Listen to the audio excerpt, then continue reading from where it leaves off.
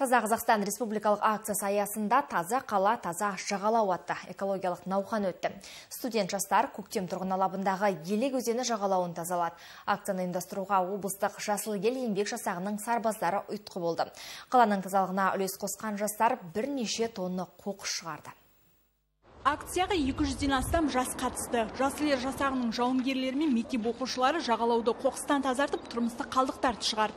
Жасақ қатарына еңбек етіп жүрген жастың бірі Махамбет Сырым. Ол колледж студенті. Мұнда ол жаңа орта қалыптастырып, табиғат тазалығына үлес қосып жүргеніне дән риза. Заречный елді мекеніндегі елек бойын өзен жағалауын тазалау жұмысын жүргізуге келдік. Жұмыстың мақсаты қала тазалығын сақтап, барлық қала тұрғындарын тазалыққа шақырамыз және мен осы жұмысты ең бірінші рет жасап жатырмын.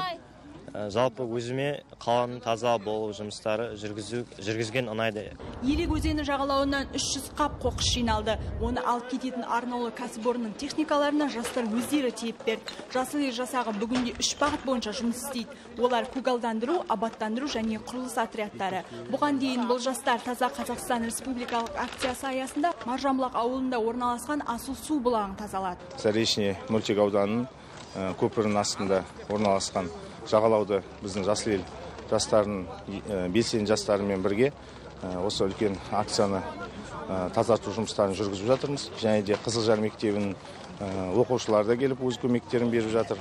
Бұл жерде бұл акцияның басты мақсаты енді табиғатымызды аялап қоршаған ортаны таза ұстау және де халық тұтынған қоқыстардан кейін су тасқынынан кейін көптеген қоқыстарды шығару жұмыстары жүргізіліп жатыр. Қала қонақтарын қала жастарын осындай үлкен игі істерге атсалысып қаламызды көркеюіне абаттануына таза ұстауға шақырамын. Аталған акция шаһардың экологиялық жағдайын жақсартуға мүмкіндік береді. Акция соңында аталмыш шараға белсене қатысқан 35 жас алғыс хатпен марапатталды.